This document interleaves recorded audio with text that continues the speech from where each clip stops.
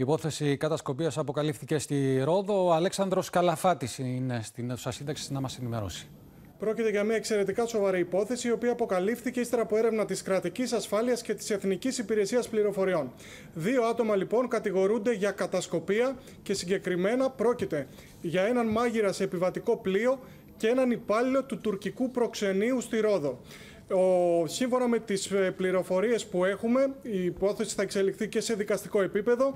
Ο υπάλληλος του τουρκικού προξενείου φέρεται να στρατολόγησε έναν μάγειρα επιβατικού πλοίου, ο οποίος φωτογράφιζε πλοία που έκαναν το δρομολόγιο ε, που συνδέει τη Ρόδο με την ίσο Μεγίστη, το Καστελόριζο.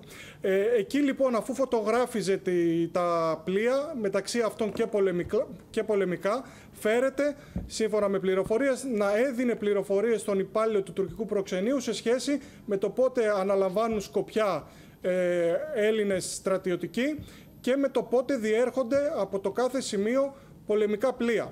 Ε, σύμφωνα με πληροφορίες της ΕΡΤ, ο μάγειρας του επιβατικού πλοίου έχει ομολογήσει στις ελληνικές αρχές τις πράξεις του, ενώ έγινε έφοδος στο σπίτι του, όπου βρέθηκαν λάπτοπ, τα οποία μπαίνουν στο μικροσκόπιο και τα οποία ε, πολύ πιθανόν να ε, οδηγήσουν σε νέες εξελίξεις σε σχέση με την πολύ σοβαρή αυτή υπόθεση.